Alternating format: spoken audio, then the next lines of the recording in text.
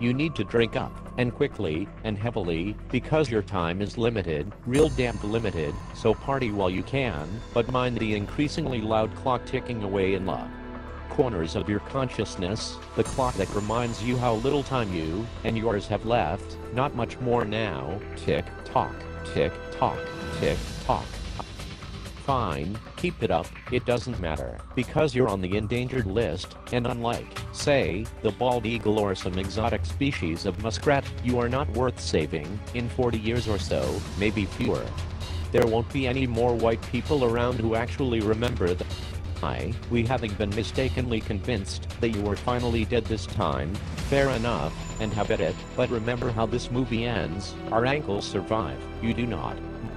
Lost, and you will lose, so make a note of it, tweet it to yourself, put it on your Facebook wall and leave it there, so you'll remember that I told you so, it is coming, and soon, this isn't hubris, it isn't ideology, it is not wishful thinking, it is math. Not even advanced math, just simple, basic, like third grade math, the kind of math that proves how kind, mostly older white folks beholden to an absurd, inaccurate nostalgic fantasy of what America used to be like, are dying. You're like the bad guy in every horror movie ever made, who gets shot five times, or stabbed ten, or blown up twice, and who will eventually pass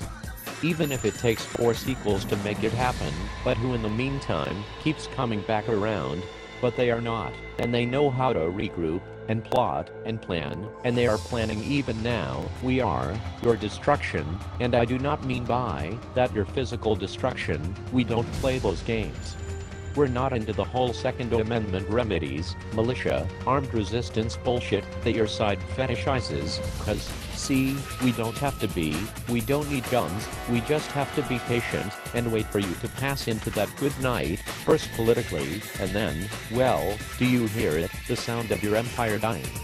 Your nation, as you knew it, ending, permanently, because I do, and the sound of its demise is beautiful, so know this,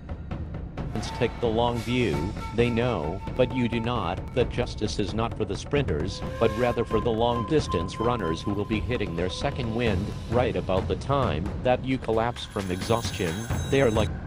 they have to study you, to pay careful attention, to adjust their body armor accordingly, and to memorize your sleep patterns. You, on the other hand, need know nothing whatsoever about them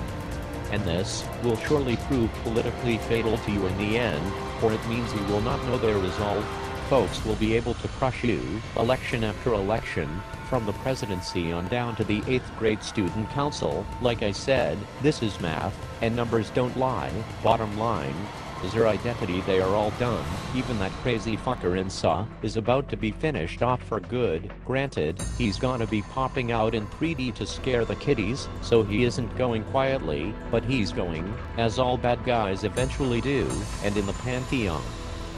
near and dear to your heart, there won't be any more white folks around who think the 1950s were the good old days, because there won't be any more white folks around